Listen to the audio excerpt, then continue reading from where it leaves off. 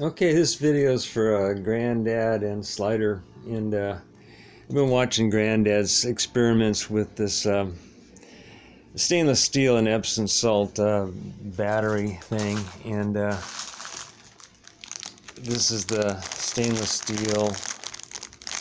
It's magnetic, but uh, Slider made the comment about trying it with a crystal cell, and, and I looked back and I don't remember ever building a rechargeable battery. This was eight years ago or so, um, using a solid crystal. So I thought I would try it and um, got it to work. And this is just a strand of this um, stainless steel scrubber. Very low surface area, but I got it to form up and I did a concoction. I did a layer of the uh, alum uh, powder melted and then put the electrodes in there and then melted the Epsom salts, which is uh, aluminum sulfate, and then filled that thing up. And then kept charging and discharging, charging and discharging, and finally it formed up. And uh, what's amazing is this is um, this is a solid crystal it's it's um,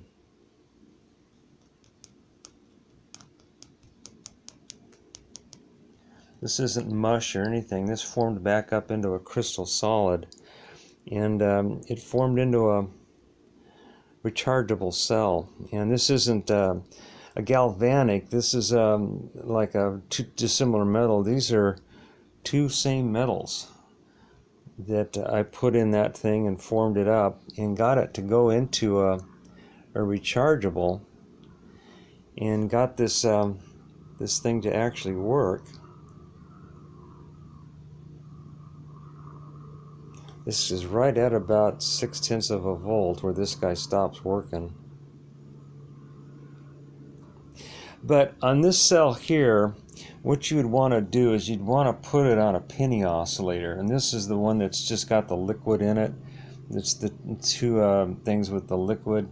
And you'd want to take this cell here because of the low volume in it low capacity because there's not much surface area and run it on um, on a penny oscillator. You see I'll show you how to do this so what you do is you um, abandon the pulse motor and you, you put it on one of these guys. And this is um, let's see if I can get this to go here.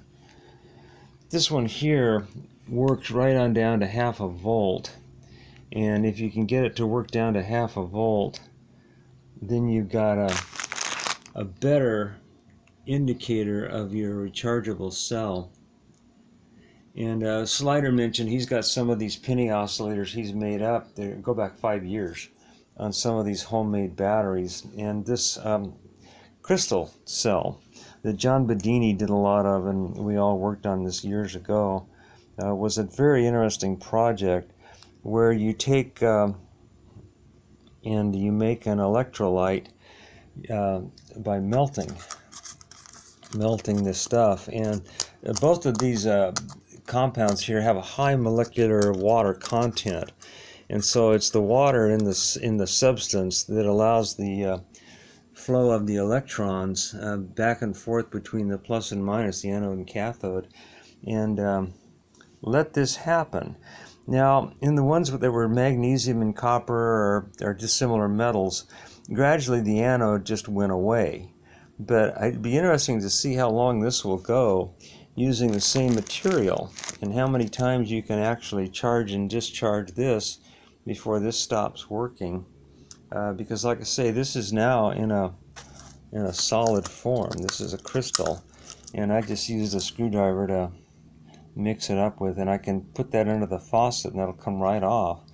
So what I'm thinking is if there's high moisture content in the air to keep enough moisture in that crystal cell this might just go for a long time um, with a solar cell put a little solar cell on that thing and uh, set it near a window and build yourself up a penny oscillator. You don't need to use these kind of coils. You can use a normal joule thief type. And the, the penny oscillator, what's different, it's got a tank circuit right here. And, and Slider's done these things too. You just put a capacitor here, 0.1 UF, across the resistor on your uh, joule thief circuit.